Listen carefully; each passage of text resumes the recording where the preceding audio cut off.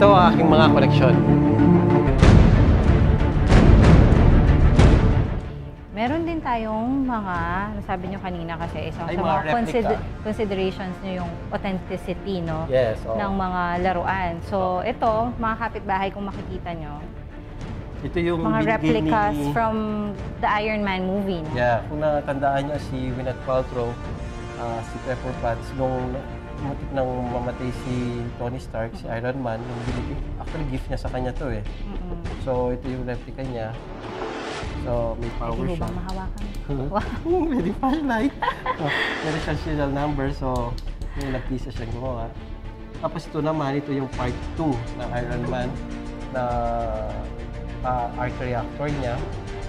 Kompleto, pati nga ang hammer ni Thor nandito. Ang monitor. Actually, ito, ito ano to, ah, comic version.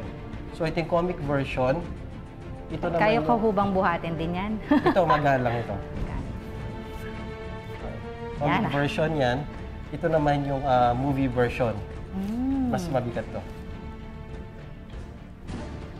Oh, mabigat. mabigat. Bigat nga siya. Tapos ito naman, itong replica, itong ginawa ni... Kay Iron Man din po ito, yes, no? nung nasa cave siya. Sa sobrang dami na nga ng mga koleksyon ni Darwin, ay hindi na rin niya alam kung ilan na ang bilang ng mga ito.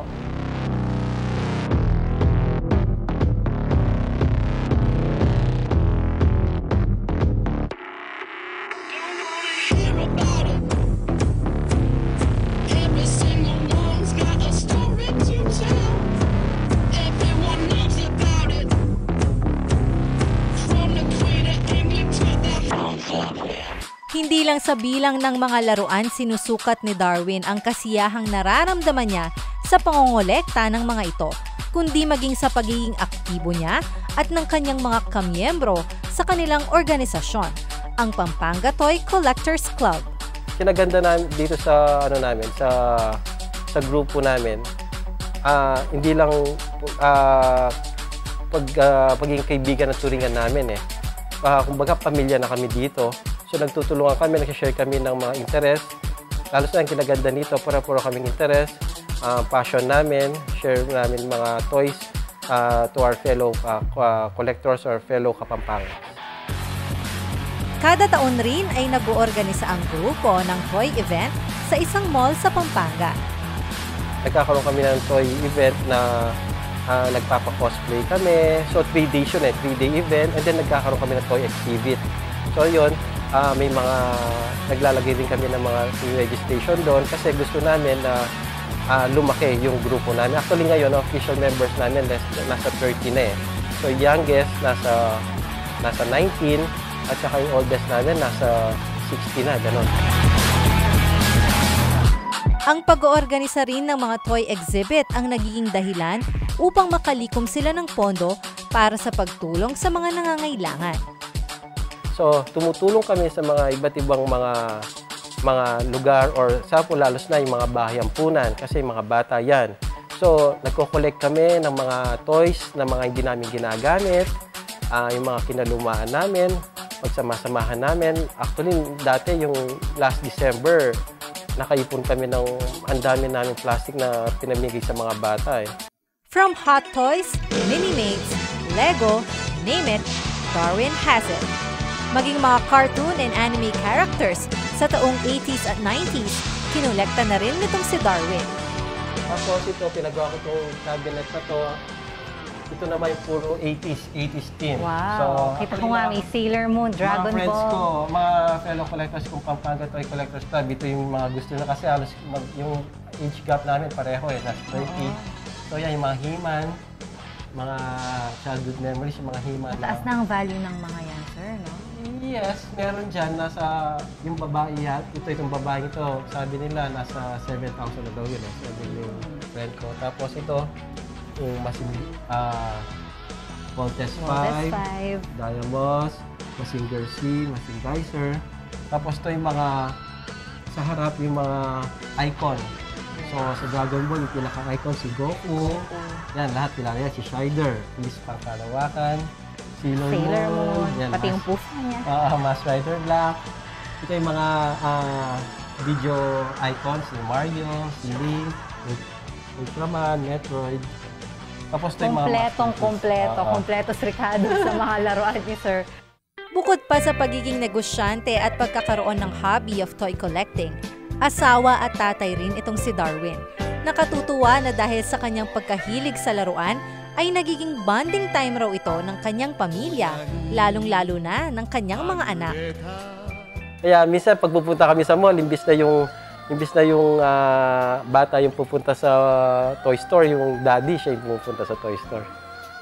Actually, banding na rin yun eh. Halos na sa mga anak ko. Halos na yung babae kong anak dahil bata pa siya. Ah, grade 4 pa lang siya. So, na-appreciate pa niya. So, family bonding na namin yun.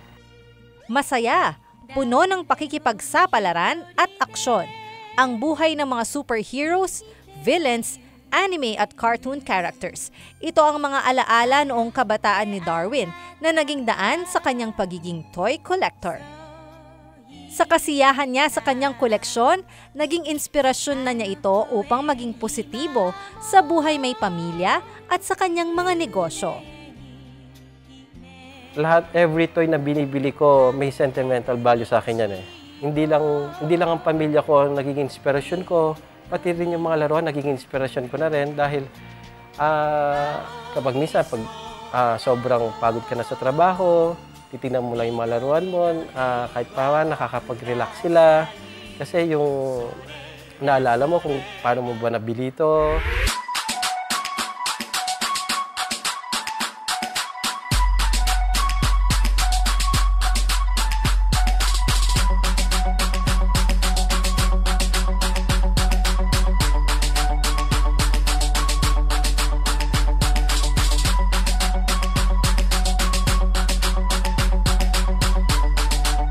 So sir, ano po ba yung pwede nating i-advise sa ating mga kapitbahay na gustong mangolekta rin ng mga ganitong laruan? Oo. From the small size to the Yes. bigger Kagaya size. kanina nabanggit ko nga, no? sa biging ah, collector, hindi lang porket maliit man, malaki man yan, mahal man yan, mura man yan, importante, masaya ka, di ba?